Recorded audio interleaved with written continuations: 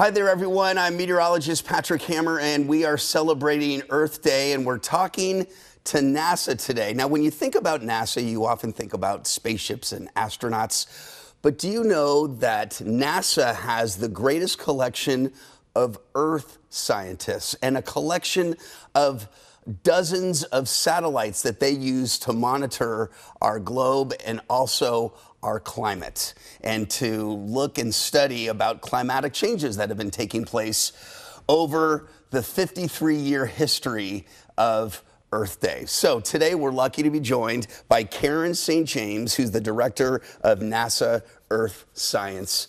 Uh, good day, uh, Karen. Thank you for joining us on this uh, Earth Day. Hey, tell me a little bit. Um, you know, what, on this day, that is, you know, I remember it started in 1970. I remember it because I was born that year. Um, what has NASA really learned in those years uh, about our climate and the tools that you have? Uh, that that many of us don't really know that are available to you, and how this climate is evolving and changing. Yeah, thank you. We NASA uses that unique vantage point of space that allows us to see the entire globe, to look down and study the oceans, the land, the ice, and the atmosphere. And over that period, since the first Earth Day, we've learned an awful lot about how the Earth system is changing. And not just what is happening, but why it's happening. And that really helps us project into the future. Okay, so one of the headlines this year uh, has been uh, out west. Uh, California.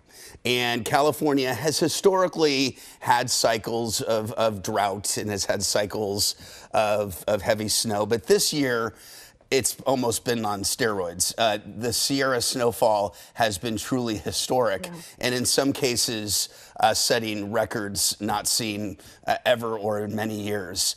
Are you noticing some types of climate extremes that may be causing such snowfall amounts there? Yes, these are all related events. So, what's happening is that excess energy from the sun that's getting trapped in the Earth's system is getting absorbed principally by our oceans. And as those oceans warm, that's leading to an intensification of the water cycle. Well, what does that mean?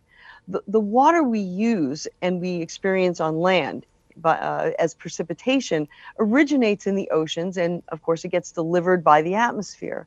So this cycle is intensifying, meaning that in many cases, dry regions are becoming drier. We're seeing uh, more extended and intense drought in some areas. But on the other hand, precipitation events are in many cases becoming more intense also, leading to the kinds of, uh, of, of events that we experienced in California this year. Okay, now bringing it closer to home uh, here in Western New York. Uh, lake effect snows here are notorious. They're common, they happen every year. But this year, I mentioned that California got these snow events. It was on steroids, I called it. We had a snow event here in uh, the latter part of November where unofficially we set what could have been a 24 hour snowfall record. We had places here that received over 74 to 81 inches of snow in about a 30 to 36 hour period. It was crazy. Um, could that be attributed to, to a climate change situation, higher precipitation totals in shorter amounts of time? Yeah, so uh, attributing any specific weather event to climate is a, is a challenge and something that you can really only do after the fact. But we do know that the warming is increasing the probability of these kinds of events. And of course, where you are, you have a, a, a lot of interaction with the with the Great Lakes, and uh, and of course we know that the Great Lakes are also warming, and we're predicting that they're going to rise as well. So yeah, these are all related events uh, that we're experiencing in different ways in communities around the country and around the world. Well, you bring up warming lakes. You know, our, our Lake Erie did not freeze over uh, this this season, and that may have been one of the reasons why uh, our Christmas blizzard uh, was so bad. Uh, as you may have heard, 49 people lost their lives. The lake was wide open, so a blizzard turned into kind of a lake effect event, which just prolonged the whole thing.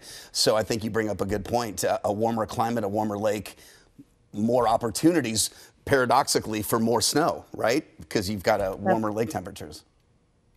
That's right. And then, of course, in the summers with warming water, that's changing the biology of the lakes as well. Sure. You know, climate change as a news story, especially when you share it with children and whatnot, it can be kind of scary sometimes when you hear about, you know, these projections. You know, what is NASA doing uh, to kind of continue to allow us a positive outlook and how we can thrive on this beautiful planet of ours? Well, it's a great question, and that is exactly our objective we work to bring the information and the understanding that we gain from that vantage point of space to communities and policymakers and agencies around the world so they can make science informed decisions on how to mitigate the changes that we're likely to see and uh, plan to be resilient in the face of them. Karen St. Germain, thank you so much for joining us on this very happy Earth Day. Uh, from NASA. Thank you very much and have a good afternoon. Thank you.